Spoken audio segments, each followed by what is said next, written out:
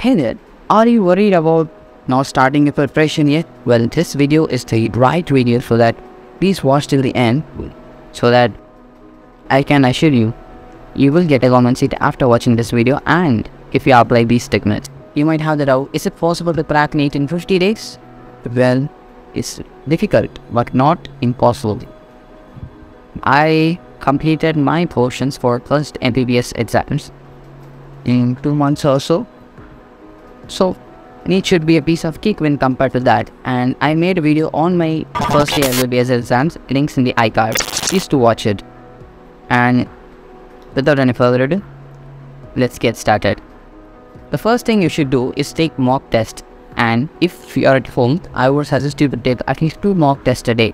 The first thing is mock test will give you an insight to all the important topics in the chapter so after completing the mock test even if you have not solved any questions on that chapter it will give you an insight. So what are the possible questions that you might get from that chapter?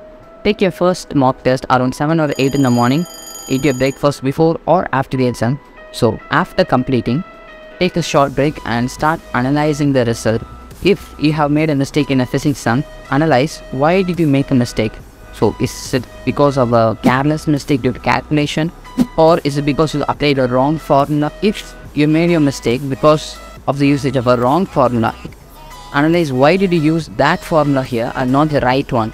There might be a possibility that you have confusion between this topic and the right topic, right?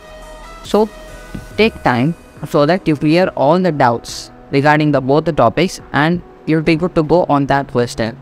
If you do this for all the wrong questions you have made, and there might be some questions you have got correct just by mere luck, there are possibilities.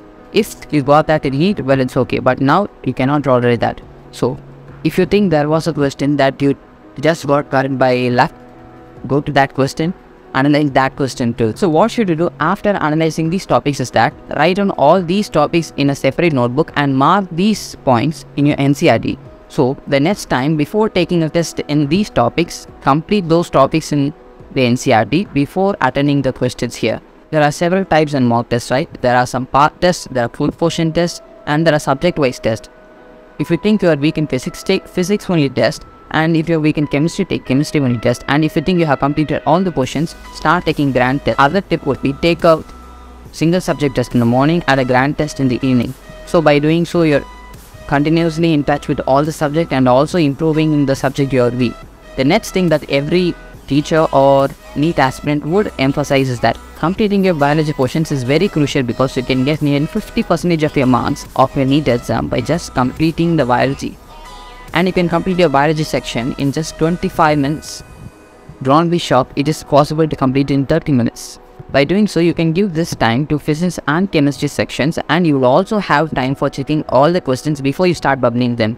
And there are different ways of bubbling it. You can either bubble the questions just after you solve the question or you can complete all the questions and then start bubbling. Each methods have their own positives and negatives and if you want please tell me in the comments I can make a video on that. Continuing with the subject of biology, you don't have so much time to revise it again and again, right? So what I would suggest is that take a highlighter, mark down the important points and write them on a separate paper.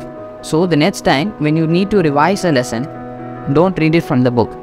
Just complete these important points and you're good to go. And to have most of your information in your memory, rereading is not a good option at all.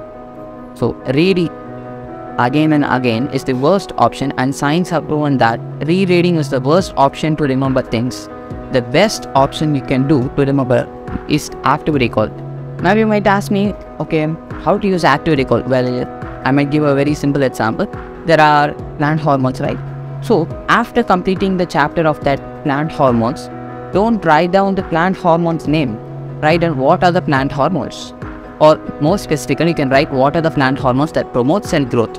Or you might write what plant hormone promotes cell differentiation by writing down specific questions, you are more likely to remember the topic and you should not see the book to tell the answer. You should recall it from your brain. And the more effort you put into learning, the more you will remember. This also has scientifically been proven that the more effort you put into learning a topic, the more you will remember. If you think you will remember more if learning is easy, well, it's not true. The more effort you put, the more you will remember. I told you that rereading is um, not the optimal method for learning. Okay. Why? You might ask why. It's because rereading gives a false sensation of mastery that it gives a false sensation that you have understood the topic. You know why that is?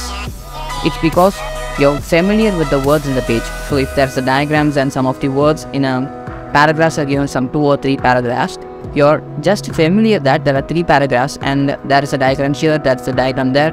You're just familiar with the book and you are just familiar with the book and you're not mastered in that topic. So mastering in a topic is different but being familiar with that topic. Both are completely different. Rereading gives a familiarity with the topic but active recall gives you the understanding of the topic and it improves your retention of memories. So please do start practicing active recall right now. Talking about physics and chemistry, the first thing you should do, take two sheets of paper and write down the name of the formula in one sheet and write down the formula in another sheet. For example, write down work energy theorem here and write down the formula in the another page. By doing this, you will not only revise the formula, you will also revise the concept, what is work energy theorem and you will also be thinking what can we get by applying this formula. You'll also think about the applications of the formula. So this creates more effort into remembering that piece of information so that it will be hardwired strongly in your brain. Next important thing is don't think that you could get away with the NEET exam by just mugging up the concepts. Mugging up is complete waste of time. Instead of mugging up hours, if you use that many hours to complete even a single topic with full understanding, it's more effective than mugging up for so many hours. I experienced this myself during my NEET preparation. When I had an exam down the line on the Saturday or the Sunday, uh, what I would do was just open the books and start mugging up the content. I didn't know that I was mugging up and I didn't know I did not understand topics also. It took me a whole year. I realized just by the start of my 12th grade that I was not understanding the topics. So I had to learn 11th and the 12th portions in my 12th standard. Since you don't have so much time now, even though you learn little, learn with full understanding and uh, don't try to mark up the content. The last thing is solving previous questions and I have kept this for the last section because if you watch any video on YouTube on how to crack NEET, they will tell you that solve previous questions. So why is it important? The first thing in solving previous questions is that you might get the exact same question from the previous years. The second is that the models might be same. They might just change the numbers and give you the same model in this year. So, if you have practiced the previous question, you might not spend time thinking on how to solve the question. You will notice that, okay, this is the same model. So, you will start answering the question quickly. And that's it guys, we have come to the end of the video and I hope you found this really useful and please put a camera icon in the comment section so that I will know that you have stayed till this part of the video. Until then, this is Ram signing off from the White Cape Hero.